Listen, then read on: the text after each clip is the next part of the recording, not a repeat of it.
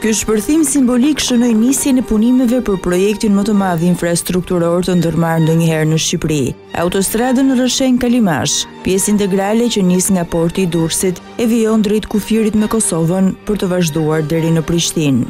Le të përshëndesim Nga ky vend, së pari të gjithë takspaguesit shqiptarë, sepse kjo rrugë është vepër e mundit dhe e djersës tyre. Propozimi i parë për këtë rrugë është bërë në vitin një mijë e nëntëqind e nëntëdhjetë e gjashtë nga presidenti i asaj kohe Sali Berisha. Në vitin një mijë e nëntëqind e nëntëdhjetë e nëntë, Propozimi u përsërit nga ish-kryeministri Pandeli Majko, i cili vendosi edhe një taksë mbi çdo shërbim e mall në Shqipëri, që u njoh gjerësisht si taksa Majko. Do kemi një taksë pa limit, e cila do t'i bjerë në kurriz qytetarëve. Taksa u mblodh për disa vite me radhë, duke futur në arkën e shtetit mbi dyqind e pesëdhjetë milionë dollarë, por që nuk u përdorën për atë që u mblodhën. Në korrik të vitit dy mijë e gjashtë, qeveria Berisha shpall një tender të hapur ndërkombëtar me konsulencë të Bankës Botërore. Nga katër kompanitë pjesëmarrëse fiton oferta më e mirë, ajo e Bechtel-Enka, një bashkim kompanish turko-amerikane.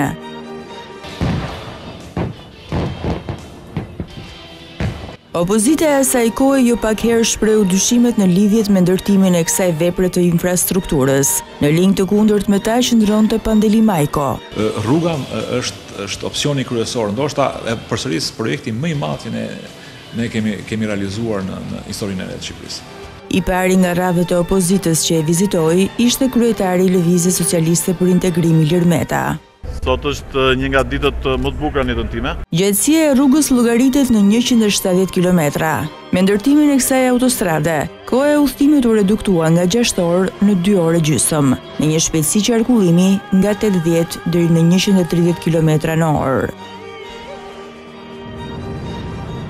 Në tetor të vitit dy mijë e dhjetë u hap galeria veriore e tunelit të Kalimashit, duke shënuar në këtë mënyrë përfundimin e autostradës Durrës-Kukës-Morinë. Normalisht unë duhet të thoj që jam shumë i gëzuar, në fakt nuk jam shumë i gëzuar, sot jam shumë i mërzitur, sepse sot shënohet fundi i një projekti shumë të bukur. Ne po vazhdojmë aty ku ka përfunduar qeveria shqiptare për të përmbyllë një projekt të ëndrrave të Kosovës e Shqipërisë.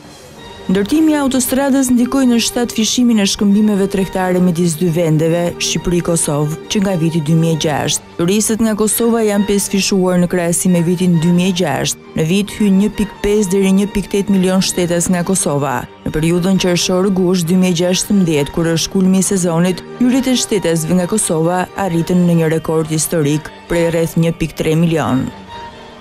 Kostoja fillestare e autostradës me katër korsi u përllogarit në rreth gjashtëqind milionë euro, por më pas ajo i kaloi një miliard eurot. Opozita socialiste hodhi në tryezën mediatike fillimisht e më pas në atë të prokurorisë Akuzat se ish-ministri i Transporteve kishte abuzuar me fondet e Rrugës së Kombit. Pas një kalvari të gjatë hetimesh dhe seancash gjyqësore, çështja u mbyll. Vitet e mëvonshme do të sillnin degradimin e rrugës. Shkarje, çarje të asfaltit, vjedhje të trafikndarësve, bënë që Rruga e Kombit të mos kishte pamjen e saj të parë. Të gjitha këto, bënë që të diskutohej dhënia me koncension për mirëmbajtjen e rrugës. përsëri iniciohet nga ish-kryeministri Berisha, i cili në fund vendos t'i thotë jo. Argumentimin e vendimit të tij e jep edhe sot.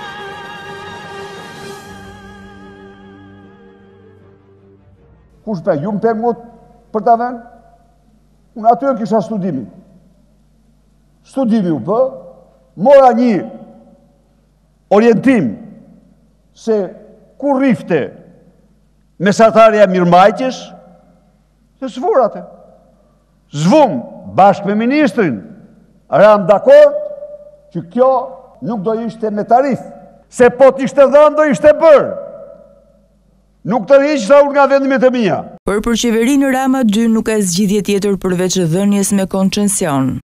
Kostoja totale, ku përfshihet dhe mirëmbajtja rutinë, mirëmbajtja dimërore, është 160 milion euro. Nëse ka ndonjë profesor këtu, që gjen ndonjë formulë tjetër, që 160 milion euro, për të garantuar siguri, lëvizshmëri normale, pavarësisht temperaturave, pavarësisht reshjeve, pavarësisht borës, Pa këtë rrugë, por në një rrugë tjetër, hajde na i tregoni. Të parët që shprehën kundërshtimin ishin drejtuesit e kamionëve të Kosovës, ditën që nisi testimi i tarifimit pas ngritjes së sporteleve.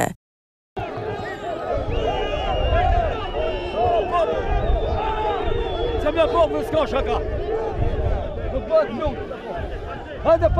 Më i ashpër ishte reagimi i banorëve të veriut të Shqipërisë. Protesta e tyre përfundoi me djegjen e sporteleve. Për këtë, u ndaluan 23 persona.